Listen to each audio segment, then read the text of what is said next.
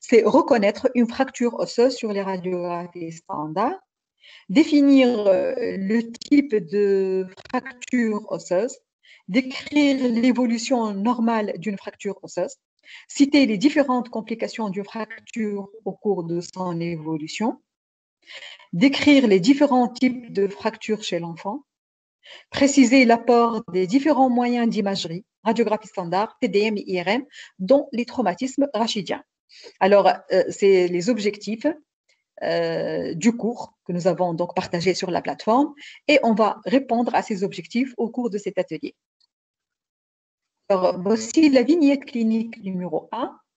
C'est un homme âgé de 54 ans et les victimes d'un accident de la voie publique ayant occasionné un traumatisme de la, de la jambe gauche. Le mécanisme de l'accident, c'est un écrasement par la roue d'une voiture. Alors, l'examen physique va trouver une impotence fonctionnelle totale de la jambe gauche qui est tuméfiée et raccourcie avec plaie et saignement actif. Donc, vous voyez ici, c'est une grosse plaie, du saignement actif et une jambe qui est écrasée et qui est raccourcie. Alors, la radiographie standard de la jambe, de face et de profil, a été réalisée.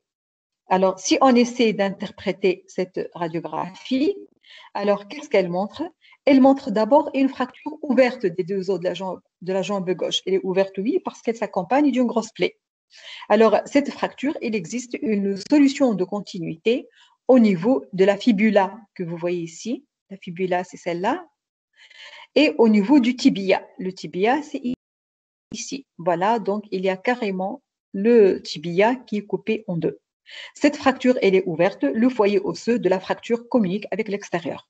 Donc, je suis en présence d'une fracture des deux os de la jambe qui est ouverte avec une plaie. Alors, quels sont maintenant les éléments à analyser dans une fracture?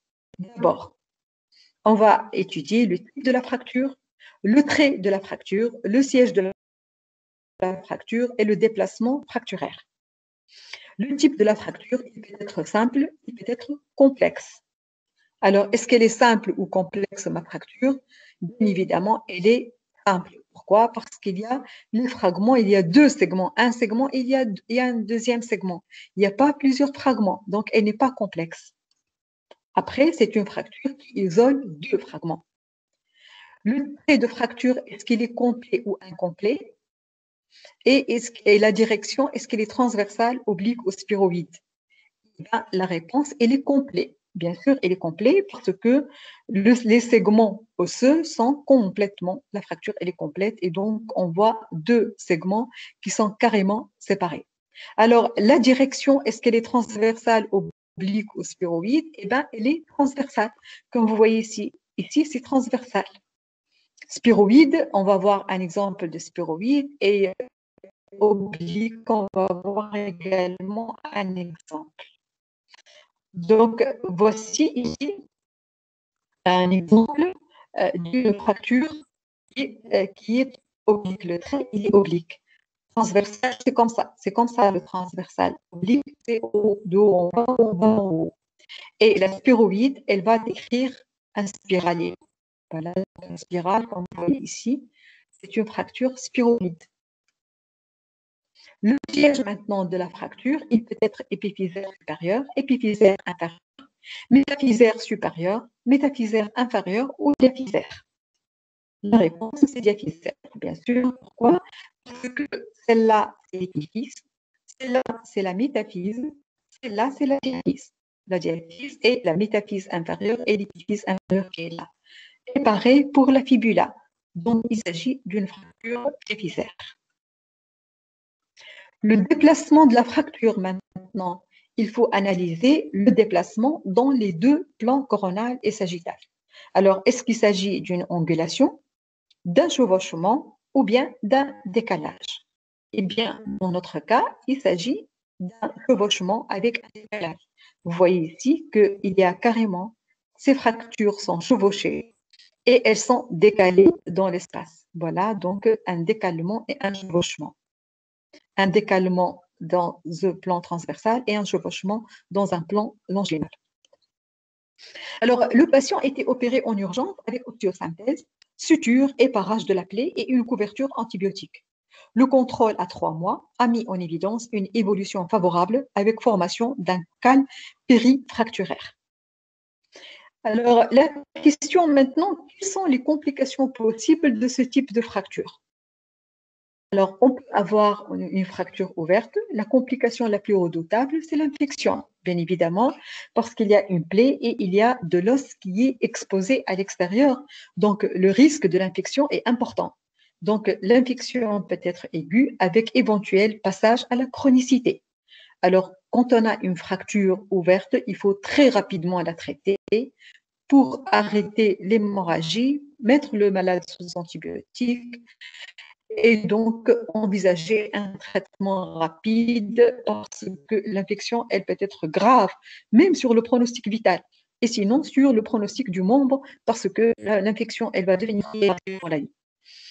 Euh, le risque de contamination est directement proportionnel euh, au, grade de l'ouverture cutanée, selon la classification de Cauchois du parc qui est détaillée dans le cours.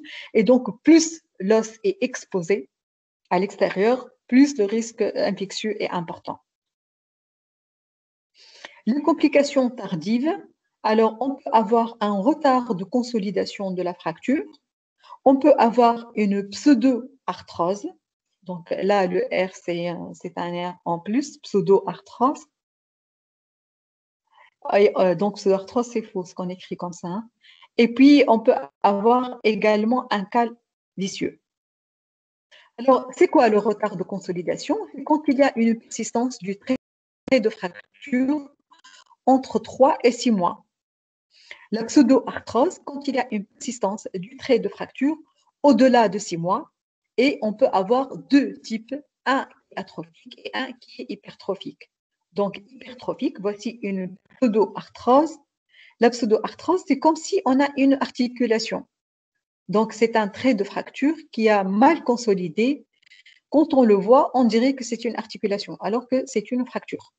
Alors, elle devient hypertrophique et on parle d'un cal euh, d'une pseudo-arthrose de type hypertrophique on peut avoir, donc euh, ça, rappelle euh, le, pied d'éléphant, la patte d'éléphant, on peut avoir également une pseudo-arthrose qui est atrophique.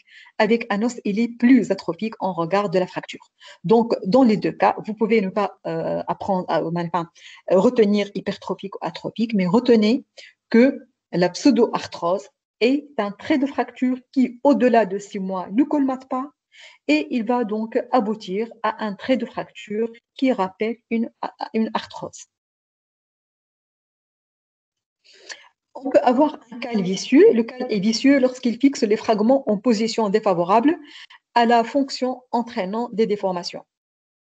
Voilà donc euh, ces, fractures des deux os de l'avant-bras. Et donc, vous avez un cal vicieux il y a de la reconstruction osseuse que, que vous voyez ici et qui est anarchique. C'est des fragments osseux qui se trouvent en position qui est défavorable et donc vous imaginez que cet avant-bras, il ne peut pas fonctionner normalement parce qu'il n'y a pas un jeu normal des, os et des muscles, ainsi de suite. Et donc là, vous avez également, c'est vrai qu'il y a du cas de la reconstruction osseuse, mais elle est très anarchique et en plus, c'est une position qui n'est pas favorable au mouvement, donc ce membre ne va pas bouger. On ne voit pas les diapos. Vous ne les voyez, voyez plus? Oui, madame. Je vais repartager.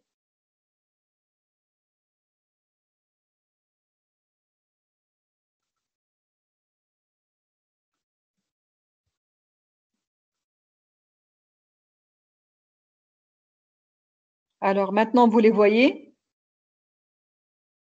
Vous voyez maintenant la ligne A, oui. Non, madame. Non plus? Non plus.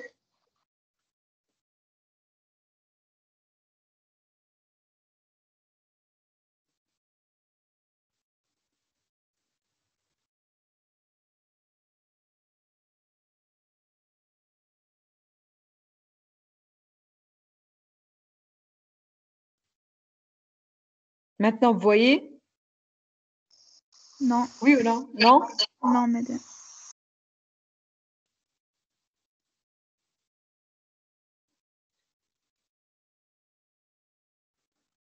Non plus? Non. Euh, maintenant, oui, madame. Oui, on voit. OK. Maintenant, vous voyez la vignette clinique numéro 2 Oui.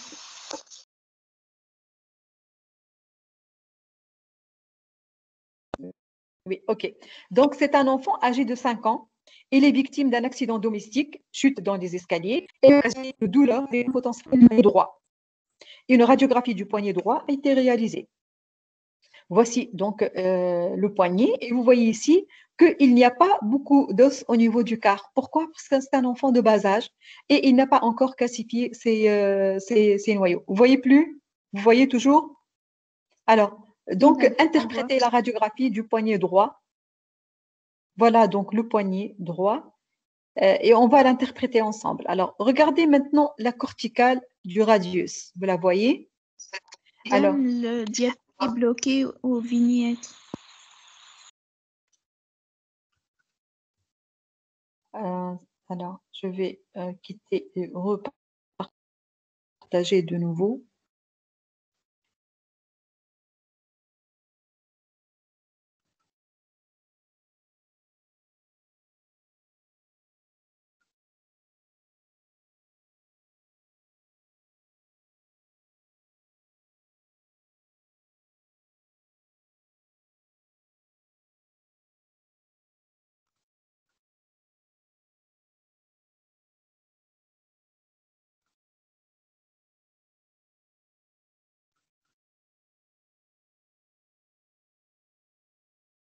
C'est bon? Non. Euh, oui. Non? Oui, madame. Maintenant, on voit. Oui, ok.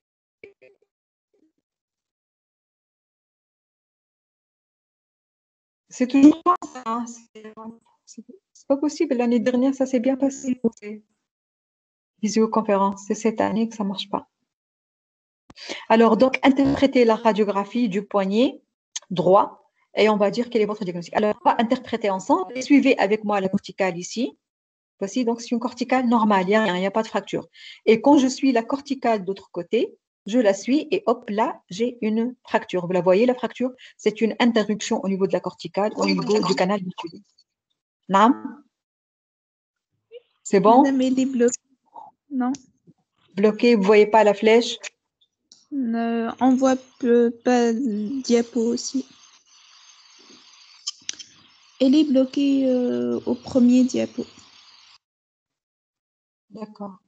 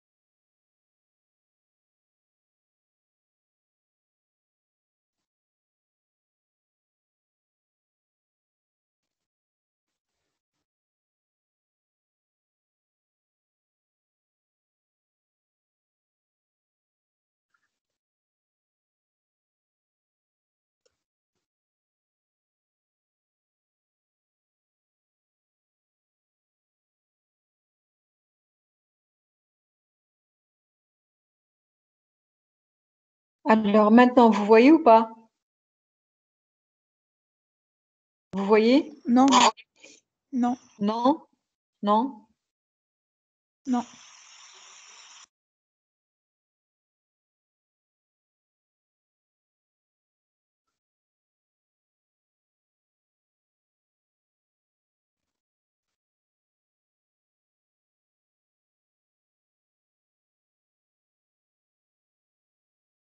On voit maintenant, madame. Ok. ما عرفتش علاش تمشي وتجي الكونيكسيون دونك alors Euh, donc, j'ai dit que cette corticale que vous voyez ici, elle est normale, elle est continue. Et cette corticale, elle est rompue ici. Vous voyez Là, il y a une fracture. Et lorsqu'on veut le comparer, il n'est pas identique. Par ici, c'est un os normal, cortical normal, et il y a, il y a une sorte de, de tassement. Ça s'appelle une fracture en mode de beurre c'est une fracture tassement de la corticale sans une véritable solution de continuité. Et donc là, vous voyez une interruption de la, corticale avec un aspect tassé de l'os. Là, c'est un os normal et celui-là, c'est un, une fracture, ça s'appelle une fracture tassement comme vous voyez ici. Eh bien, c'est quoi le mode de beurre? C'est comme ça, hein, c'est de beurre, c'est un morceau de beurre qu'on a mis ici et je vous ai mis la photo pour vous dire que c'est ça ce qu'on veut dire. Et donc, c'est un tassement vertébral, c'est un aspect qui est assez spécifique à la fracture de l'enfant parce qu'il a un os qui est encore mou. Alors, quels sont les autres types de fractures possibles chez l'enfant? C'est important. Nous avons les fractures en cheveux, nous avons les fractures en bois vert, nous avons les fractures d'écollement métaphyso-épiphysaire et nous avons la fracture plastique. La fracture en bois vert, la voilà, la fracture en bois vert. C'est-à-dire, il y a une petite incurvation. Le trait de fracture intéresse un seul versant de la corticale. Donc là, nous avons notre corticale et nous avons un seul, un seul versant. Et comme si on a pris une branche d'arbre qui est verte et on a essayé de la couper. Elle ne se coupe pas et elle va se couper d'un seul côté. Le deuxième côté, il va rester intact et donc les deux fragments vont rester euh, collés. Pourquoi? Parce que l'os, il est assez mou et il ne s'apprête pas à la fracture. Donc, nous avons une fracture qui n'est pas euh, complète. Donc, vous avez une fracture d'un seul versant cortical. Voici donc pour vous rappeler, l'aspect de fracture en bois, euh, vert. Le bois sec, ça se casse complètement. S'incurve avec seule, un seul côté qui se, fracture. Et donc là, nous avons la fracture plastique. C'est quoi la fracture plastique? Une émotion traumatique. C'est un os qui n'est pas normal. Hein. Il est incurvé, Exagération de la concavité de l'os que vous voyez ici par de multiples micro-fractures sont très visibles.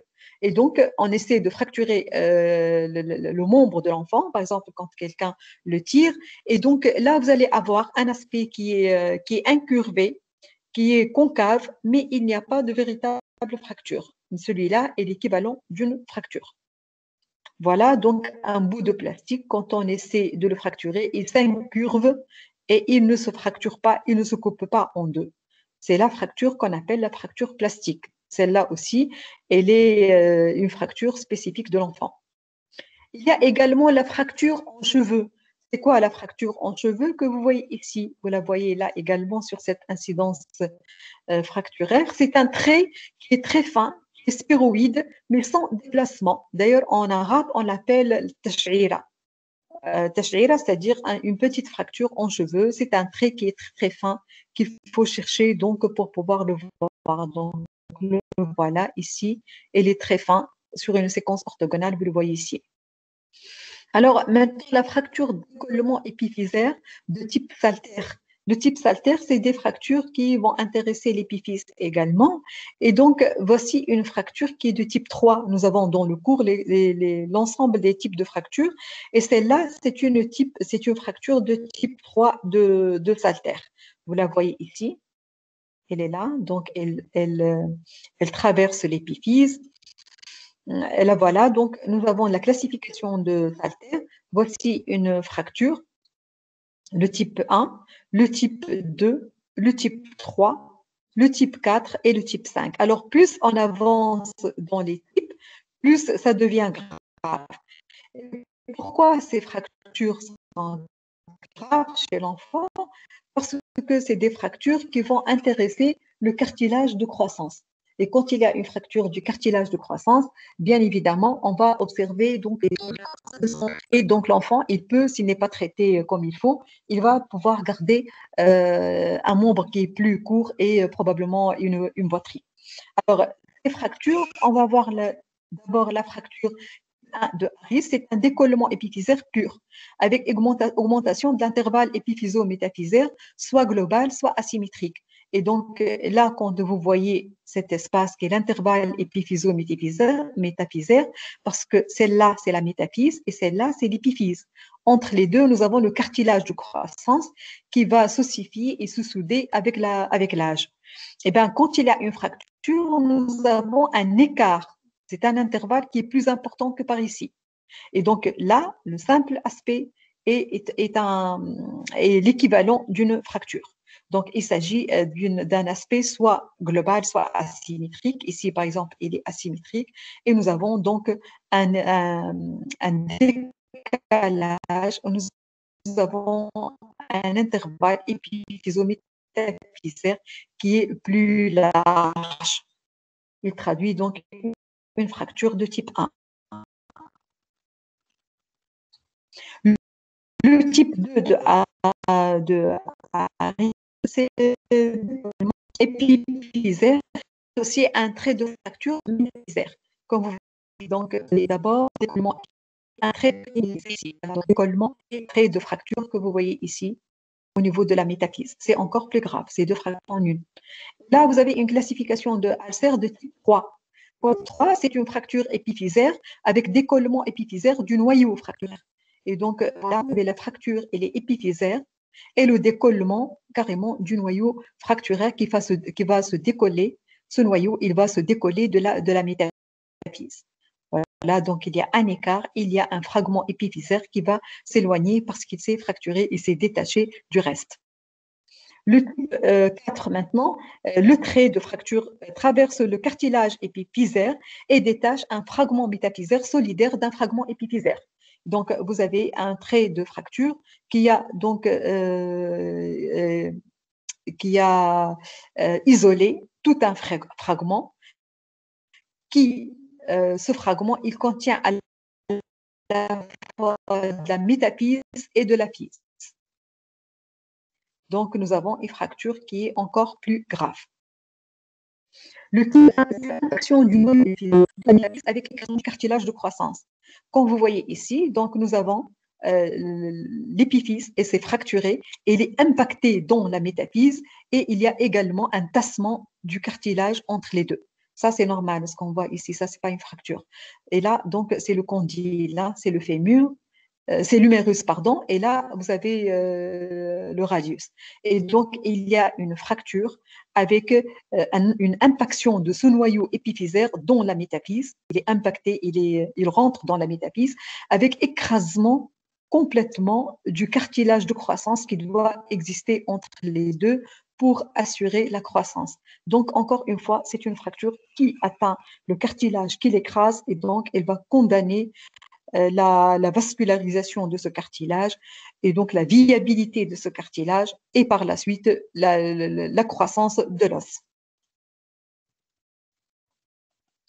Alors, on va passer maintenant à la vignette numéro 3. Euh, c'est un patient âgé de 38 ans. Il est hospitalisé euh, suite à une chute, d'un échafaudage avec point d'impact sur le dos. Le bilan clinique va montrer une paraplégie complète sans étuvomotrice. Alors, pour ce patient qui est tombé comme ça, c'est un accident euh, de travail, euh, quel examen d'imagerie est à demander de première intention? D'abord, c'est quel tableau? Vous avez ici un tableau de compression médulaire, parce qu'un point d'impact sur le dos, et il va se retrouver avec une symptomatologie neurologique de type paraplégie complète, sans étuvomotrice, et donc je suis en présence d'une compression médulaire. Et on a dit tout à l'heure que pour les compressions médulaires, on va faire idéalement une IRM pour voir la moelle. Alors, on va commencer d'abord, puisque c'est une fracture, on va commencer par des radiographies du rachis dorso-lombaire de face et de profil. Et voici donc, quand on regarde le rachis de profil, on va essayer d'interpréter. Ça, c'est une radiographie de face et celle-là, c'est une radiographie de profil. Voici donc les radiographies qui montrent les corps vertébraux, les pédicules, les disques intervertébraux, ainsi de suite. Et voici donc le profil.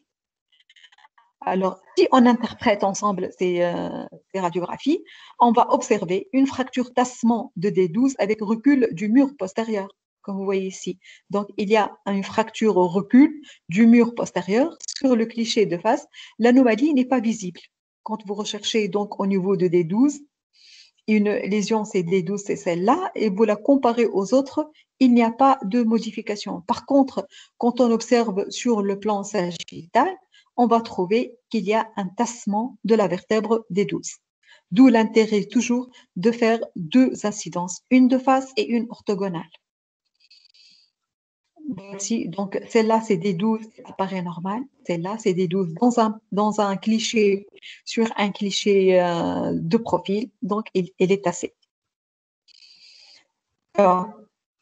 l'examen d'imagerie a demandé en seconde intention, dans quel but on, va, on peut demander une TDM rachidienne pour caractériser la fracture, pour l'authenticement canalaire, pour l'étude de l'arc postérieur, pour le bilan osseux complet. Et donc, vous imaginez que la radio standard a confirmé la fracture.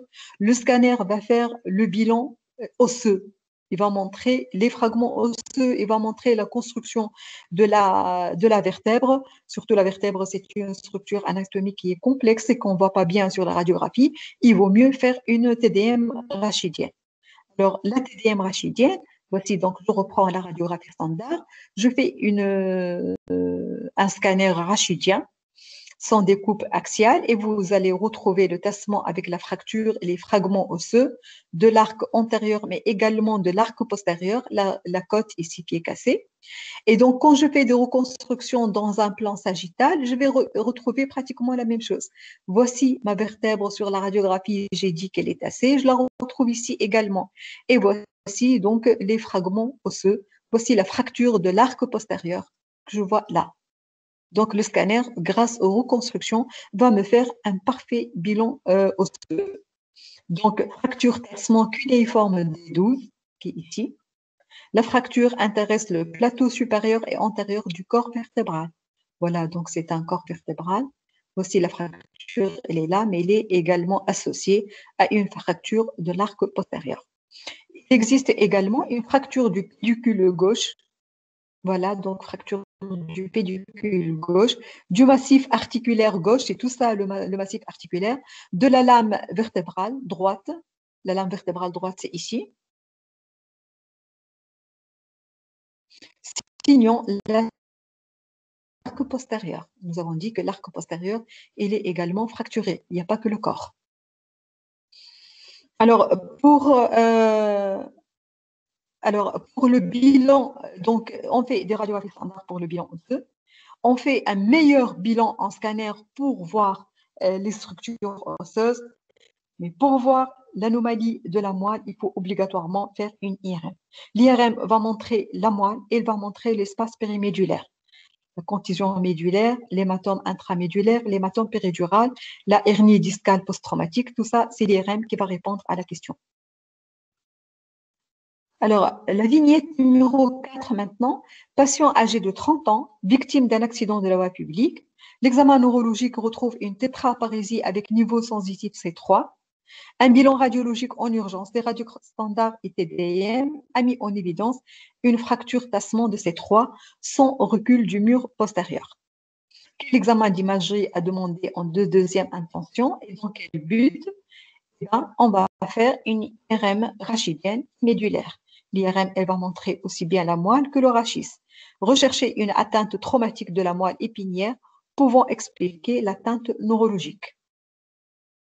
Alors, on fait une IRM.